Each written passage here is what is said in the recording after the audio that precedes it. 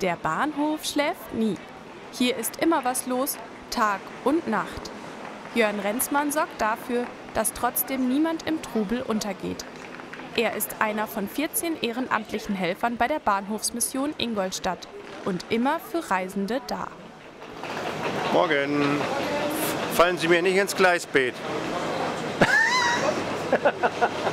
Die fangen jetzt erst das Arbeit an. Ah, nee, schönen Dienst. Danke.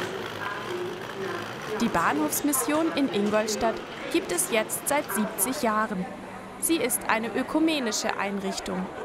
Also die Bahnhofsmission wird von, sowohl von der evangelischen wie der katholischen Kirche bezuschusst und bearbeitet. Das ist einmal praktisch die Diakonie evangelische Seite und die katholische Seite ist praktisch Caritas.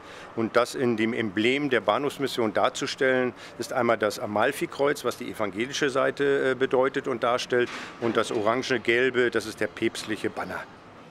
Jörn Renzmanns Arbeitstag ist durchgetaktet. Ich habe mir auf einem Spickzettel alle Züge aufgeschrieben, die ankommen und bin dann ungefähr so zehn Minuten vorher auf dem Bahnsteig. Manchmal gar nicht so einfach, denn Verspätungen der Züge müssen eingeplant und neue Fahrpläne berücksichtigt werden. Da hinten sieht man jetzt also vier Züge, die kommen sollten, aber wegen Baugleisarbeiten eben nicht fahren. Und jetzt findet der Schienenersatzverkehr statt. Für die Leute, die es nicht wissen, die sind natürlich in Hektik, nicht, um da zum Bus zu kommen und mit dem Zug zu fahren. Und das kommt sehr oft. Mit seiner jahrelangen Erfahrung behält Jörn Renzmann trotzdem immer den Überblick. Jetzt hat sich momentan ja der Fahrplan wieder geändert, dann schaue ich kurz nach. Also um 9.49 Uhr kommt der Zug auf 7 und wird jetzt auch gerade angesagt.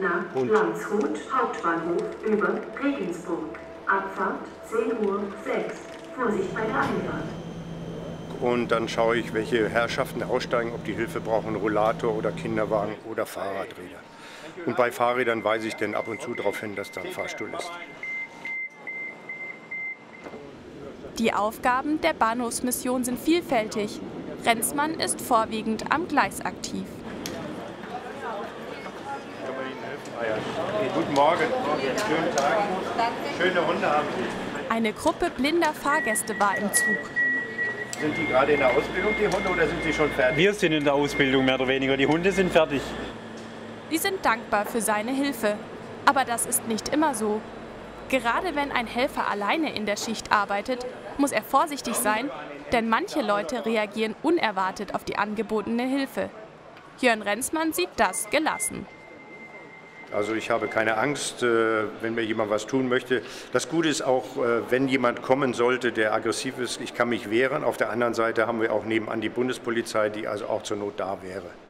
Vor allem Radfahrer muss der ehrenamtliche Helfer im Umsteigetunnel unterhalb der Gleise ausbremsen. Fahrradfahren verboten.